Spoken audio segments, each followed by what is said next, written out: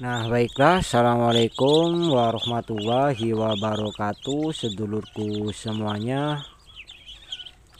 Nah dan selamat malam saya ucapkan teman-teman. Nah dan untuk aktivitas malam hari ini Pemberian pakan ya teman-teman. Memberi pakan di malam hari Nah dan tujuannya teman-temanku memberi pakan atau manfaat memberi pakan di malam hari itu sangat bagus ya teman-teman. Beda lagi kalau memberi pakan di pagi siang dan juga sore. Kalau menurut saya itu lebih bagus malam teman-teman. Nah kenapa seperti itu? Nah coba bayangin saja teman-teman kalau memberi pakan di pagi ya itu kan entok kan sering banyak bergerak ya sering keluyuran.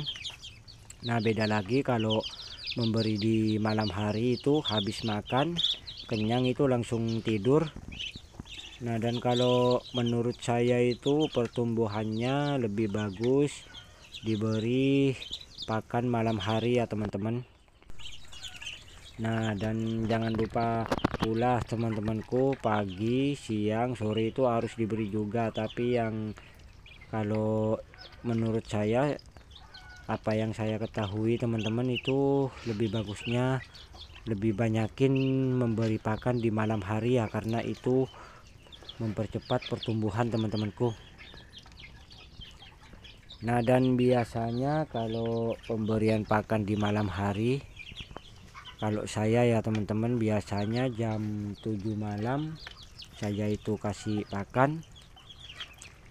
Nah dan yang terakhir teman-teman saya memberi pakan tepatnya jam 10 malam teman-teman. Itu rutin ya saya. Kalau di malam hari jam 7 dan juga jam 10 malam saya itu sudah memberi pakan. Nah dan tujuannya itu seperti yang saya bilang tadi teman-teman itu mempercepat pertumbuhan ya. Agar cepat besar dan juga cepat jumbo. Nah itu kan habis makan tidak ada aktivitas lagi untuk entoknya sendiri itu langsung tidur. Nah dan kalau dari segi penilaian saya itu sangat bagus teman-temanku Nah dan untuk campuran pakannya teman-teman seperti biasa saya menggunakan sisa nasi campur katul padi dan tentunya dikasih pakan vitamin seperti halnya konsentrat Nah dan jangan lupa juga untuk air minumnya teman-teman itu harus dijaga ya. Kalau bisa dikasih vitamin juga untuk air minumnya itu biasanya ada di toko-toko ternak ya kalau di sini ada teman-temanku.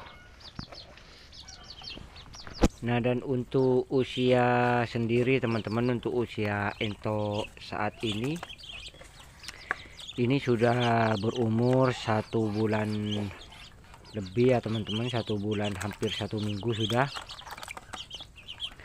Nah dan alhamdulillah untuk masalah pertumbuhan tidak ada kendala masih tetap sehat dan juga tetap gemuk. Nah karena saya menjaga pola makannya ya teman-teman itu pola makannya itu harus teratur ya. Misalnya kalau satu hari memberi pakan 3 sampai 5 kali itu rutin seperti itu ya. Karena beda lagi nih teman-teman dengan jenis indukannya itu yang sudah besar ya kalau untuk anakan entok kita harus full perawatan agar tidak rusak ya. Maksudnya tidak rusak itu biar pertumbuhannya itu stabil ya teman-temanku. Biar semuanya itu rata pada gemuk seperti ini.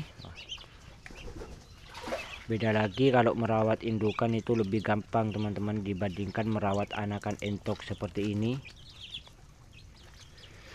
berhubung ini belum masih tumbuh-tumbuh bulu nah dan untuk penghangatannya saya masih menggunakan lampu teman-teman dengan bantuan lampu ya nanti ada saya spill nah dan untuk ukuran lampunya sendiri saya menggunakan 5 watt ya teman-teman.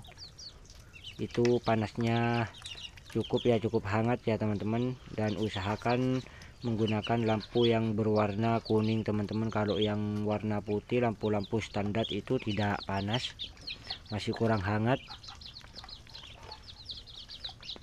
Nah jadi saya menggunakan lampu yang 5 watt yang warna kuning teman-teman. Itu ada sudah untuk fur ayam fur entok seperti ini itu ada sudah lampunya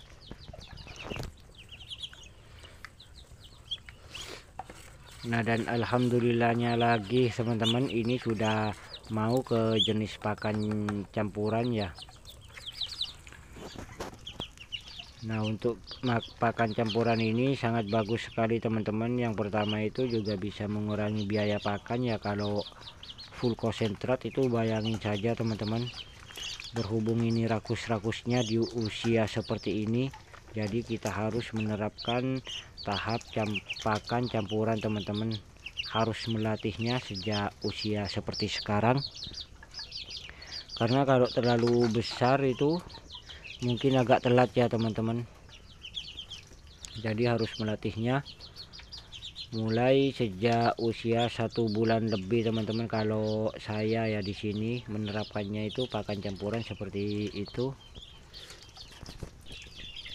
nah dan untuk selanjutnya dulurku semuanya mungkin untuk masalah kandangnya ini saya akan pindah tempatkan ya teman-teman. Berhubung saya masih menggarap tempat baru untuk anakan entok tersebut. Nah dan untuk tempat yang baru itu untuk saat ini masih dalam proses penyeminan kolam. Teman-teman saya kasih kolam juga ya di sebelah indukannya berhubung ya keterbatasan lahan lah teman-teman. Jadi kita harus pintar-pintar memanfaatkan lahan yang sempit ya. Beda lagi kalau lahan besar itu tidak usah risau teman-teman. Berhubung ini saya cuma beternak di samping rumah dengan lahan yang sempit jadi saya harus memanfaatkan sebaik mungkin teman-teman nah mungkin 2-3 hari itu sudah kering ya untuk masalah kolamnya. Nanti saya spill kandang barunya teman-teman sekaligus langsung kita review pemindahannya ya.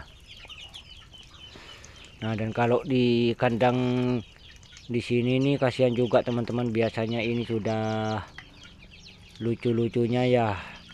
Bermain di kolam teman-teman berhubung sejenis ento atau bebek ini suka sekali bermain air nah cuma dikasih air-air minum seperti itu teman-teman.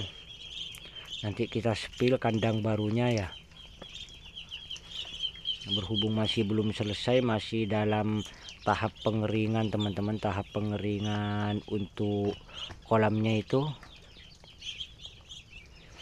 Oh. ini nampaknya ini sudah pada kenyang-kenyang teman-temanku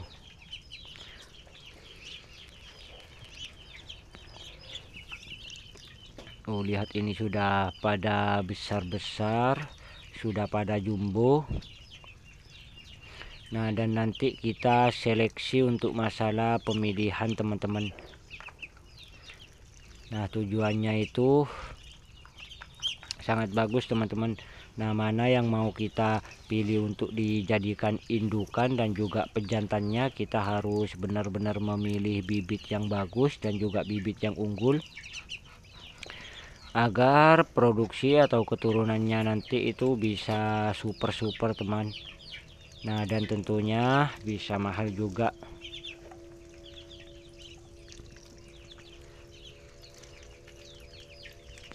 Kalau menurut saya ini perkiraan ini banyakkan betinanya teman-teman.